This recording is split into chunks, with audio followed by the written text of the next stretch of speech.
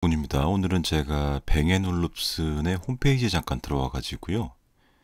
어, 재밌는 스피커 제품이 하나 있어 가지고 리뷰를 해보려고 합니다. 뱅앤올룹슨 제품은 그동안 리뷰를 좀 못했고 이 가격이 너무 높기 때문에 직접 구매를 하기는 좀 부담스러운 제품이 있고요. 어, 제품을 한번 둘러보려고 좀 왔는데 여기 Beosound Emerge 라는 재밌는 제품하고 디, 어, 새로운 디자인의 제품이 있어가지고 한번 둘러보려고 합니다. 뱅앤올룹슨 제품은 거의 뭐 예술 작품에 버금갈 정도로 상당히 재밌는 이제 디자인을 많이 적용해 가지고 있고요.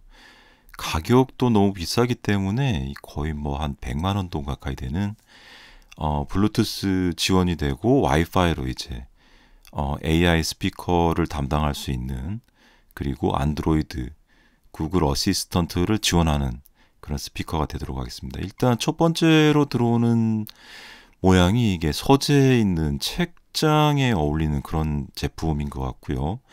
옆에서 봤을 때 드러나는 제품이 이제 나무 원목을 사용하고 가운데 모직물로 저렇게 디자인이 되어 있어가지고 촉감이 상당히 좋을 것 같다. 이런 느낌이 드는 것 같고요.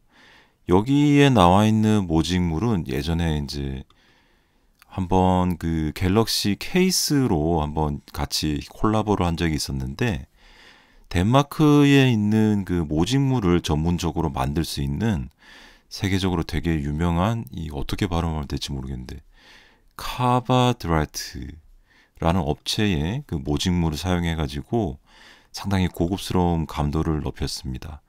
여기에 자세히 보여지는 원목 질감이 그대로 드러나게 되고요. 어, 버튼들도 상당히 직관적으로 해가지고 나와 있는 것 같습니다. 어, 서울에서는 하남 저기 스타필드 쪽에 뱅앤올룹슨 매장이 있고 삼성동에 현대백화점이라든지 강남 심세계 정도 이제 광교의 갤러리 백화점 정도 가게 되면은 이제 시연할 수 있는 그런 매장들이 있을 것 같고요. 여기에 나와 있는 영상을 봐도 표면이 자세하게 보이게 되죠. 그리고 이제 버튼을 볼륨을 도, 높일 때는 돌려가지고 볼륨을 높일 수가 있고 책장 같은 디자인으로 해가지고 여기에는 이제 전원선이 꼭 들어가야지 될것 같고 여기에 리튬이온이 들어가지 않고 항상 상시 공급하는 전원이 들어가야 되고 여기에 드라이버 구성은 스피커가 이제 스피커를 내는 드라이버가 4개, 3개가 있습니다.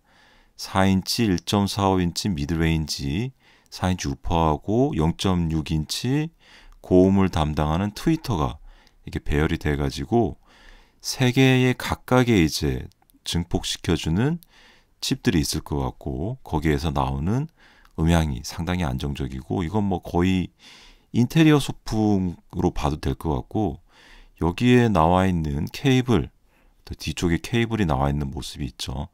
이 케이블이 있어야지 상시 전원이 공급돼 가지고 음악이 나올 것 같고요.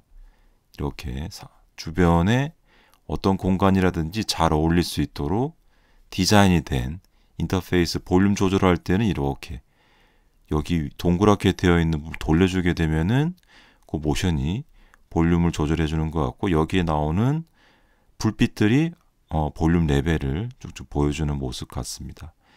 이러한 저 고가의 스피커는 이제 구매하기는 상당히 어렵겠지만은 이렇게 심플한 상자에 담겨가지고 온라인 구매도 가능하고 매장에서 처음이 가능할 것 같습니다.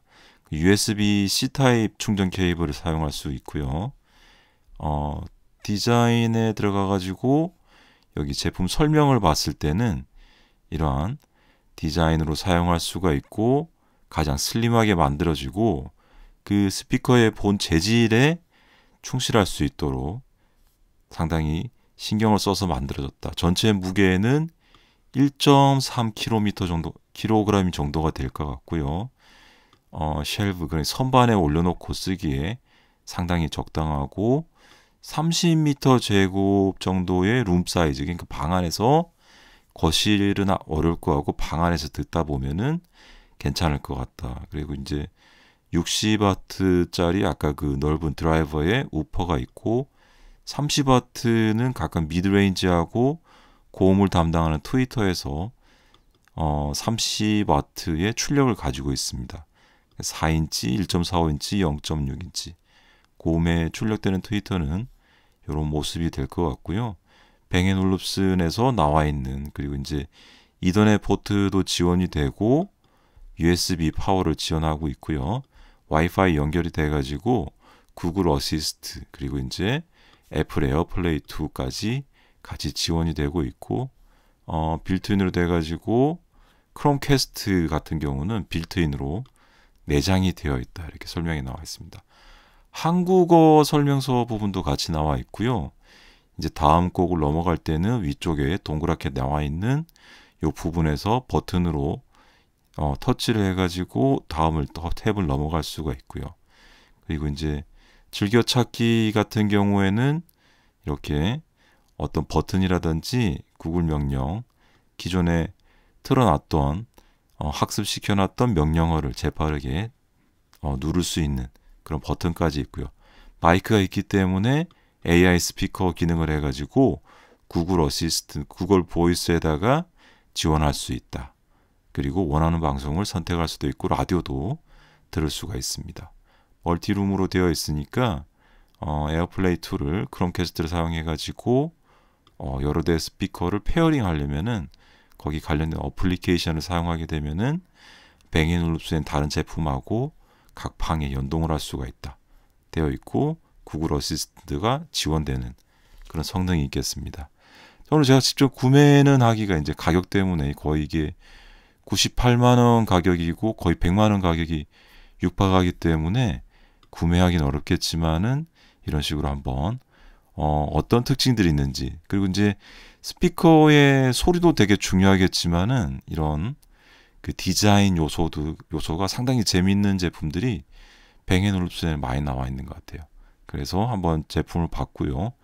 이 책장에 꽂혀 있는 책의 모양으로 해가지고 이런 고성능의 고음질의 스피커가 재질을 잘 사귀어 가지고 집안에 어, 방 하나를 음향을 다 채울 수 있다.